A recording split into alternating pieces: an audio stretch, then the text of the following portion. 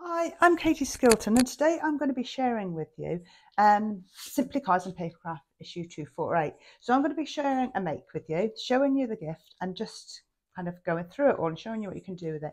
Now, this is a beautiful gift that you get with it, but in the magazine, you've got so much inspiration. So you've got lots of inspiration on how to use the gift. So if you get it and you love, you know, you look at it and you think, oh, I'm not sure what to do with it. There's it's jam packed in here with inspiration, with beautiful projects. But it's also got lots of other projects and products and hints and tips. So good one to get. Now, the um, cover mount that comes with this is this Watercolour Wonders stamp set. So you get this beautiful large stamp set. It's got lovely, really strong focal points on it. Make it really easy. If you're new to watercolouring, this is a really good one um, because you've got all those strong images that aren't too fiddly to colour. It also comes with this Colorado Craft um, sentiments, the Savvy sentiments, and it's Christmas sentiments, which I love nice sentiments with lovely fonts. These are perfect. I'm going to, I know I'll use these loads. But today I'm going to be using just the watercolour wonders and I'm going to show you how to create this card and it's got this hidden die cut um, sentiment in it. I'm hoping that you can see it there. It's got that joy written in it. So I'm going to stamp all the images and then show you how to create this card. So let's get started. So to start to make this card, we're going to need a mask for um, this stamp here, this poinsettia stamp. So what we're going to do, I'm going to stamp it onto a um, sticky note and then cut around it and that's going to be my mask and I only need to do it once and I only need to do it with this one um, just purely because I'm going to cut two of these flowers and then I can use this for both of them by just moving it. So don't worry about being too precise with this because it's literally going to be stamped all over in a second.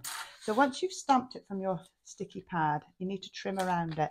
And you need to trim around it so that this is going to create a mask for your um, the rest of your stamping. So you need to stick as closely as you can to those lines. Now these stamps are perfect for trying this if you've not done it before because they're lovely thick black lines which makes it really easy to cut around.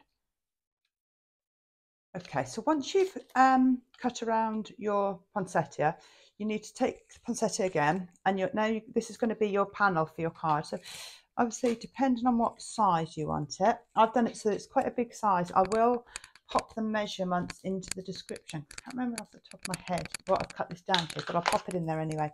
Um, you need to stamp one slightly to the side because you want two to fit on here. So what we're going to do now, I'm going to use this one as a mask. So this is now going to cover um, this bit here. So just need to work out what angle it goes on. So it goes like that, and that's going to cover my whole stamped image. And now I'm going to pop this one down again now, and I'm going to stamp that flower again. But obviously where that mask is sitting, it's not going to stamp which means that I've got two flowers and one looks like they're poking out um, from behind the other. And this is how I'm going to build up this scene um, to eventually colour it in and then die cut it all out again. pop some more ink down on that one. And then I'm going to use some of the leaves to start building up the scene. So I've got the stamp set here and I'm just going to have a look and see how I want to build it up. So I'm going to take, I think I'll start with this one. I'm going to keep to this side first of all to save me having to keep moving the post-it note. And I'm going to pop that one down there. And I'm going to do the same. And this is going to make the leaves look like they're popping out from behind that um, poinsettia. So they're lovely big images, these. So um, really good if you're new to colouring and stamping and watercolouring. A really good way to do this because they're very easy to colour in. So I'm going to keep going with this and then we will see the finished image in a moment.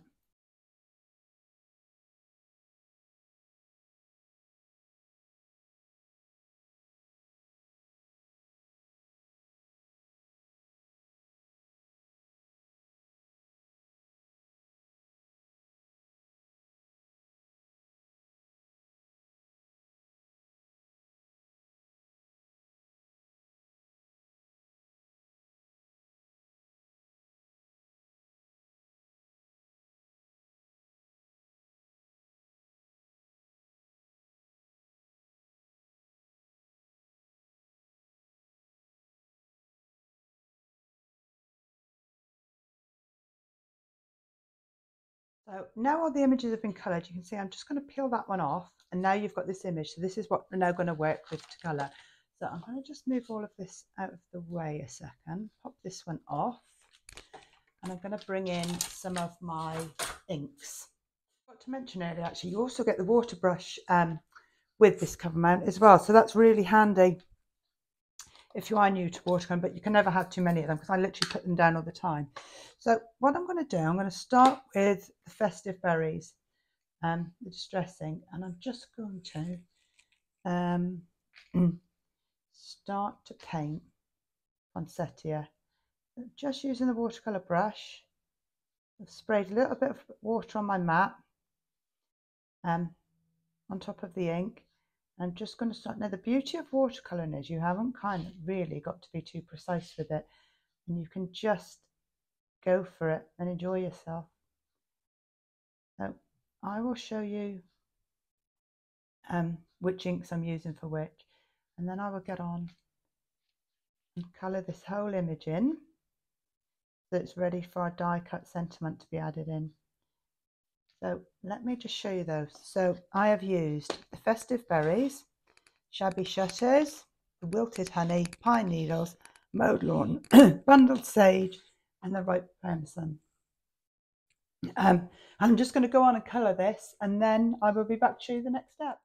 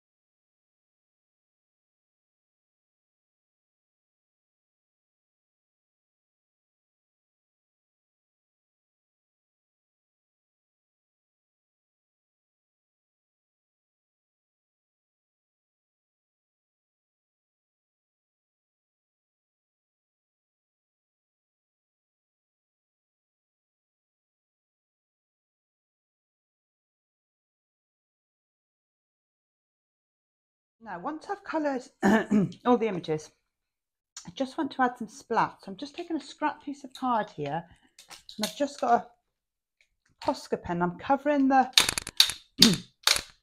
the actual stamped image because I don't want particularly, I don't mind a little bit on the leaves, but I don't want it all over. And I'm just popping some ink onto the edges just to give it that kind of really rusticy look.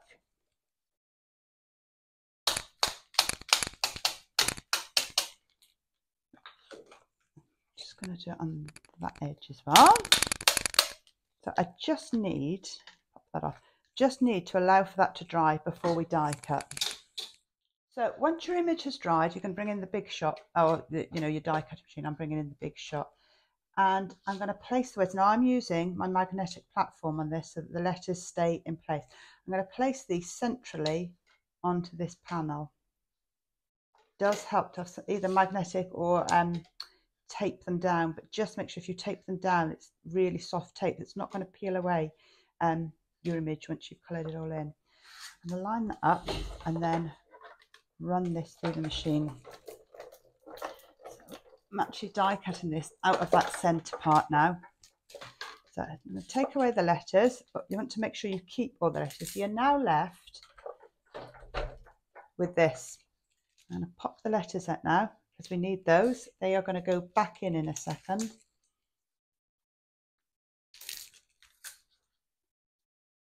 Pop those to the side and then bring in a piece of black card just slightly larger than the white panel and you want to stick that flat so just using wet glue pop that panel onto your backing card. You don't have to use black, but I've decided to use black just to make it pop a little bit.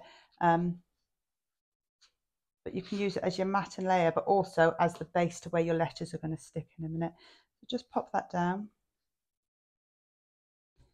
And then I'm going to take some 3D foam pads. So I've got some quite small ones here, depending on the letters you're using. So the letters I've used, these are the Card Making Magic, lowercase alphabet. I use these so much. They're perfect for cards. They're just the perfect size um, card making.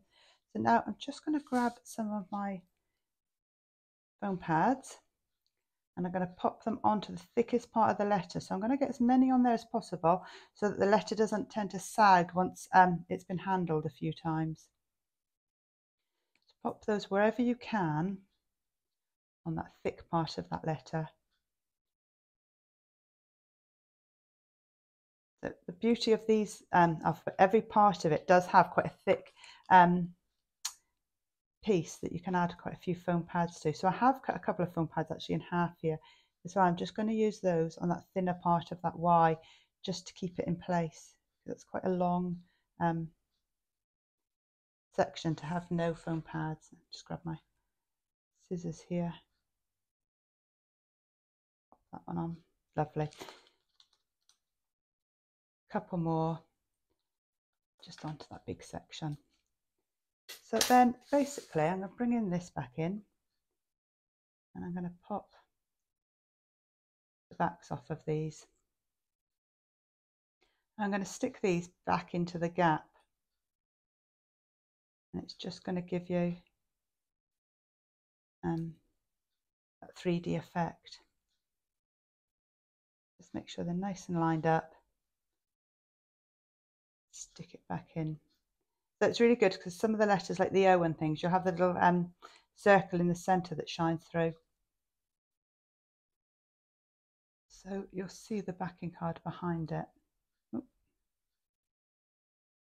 Ideally, I should have waited for this to dry a little bit more, to be honest.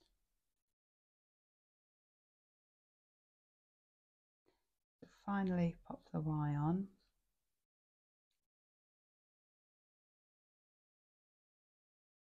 Fiddly because I'm using the tiniest parts of foam here to um, stick them on.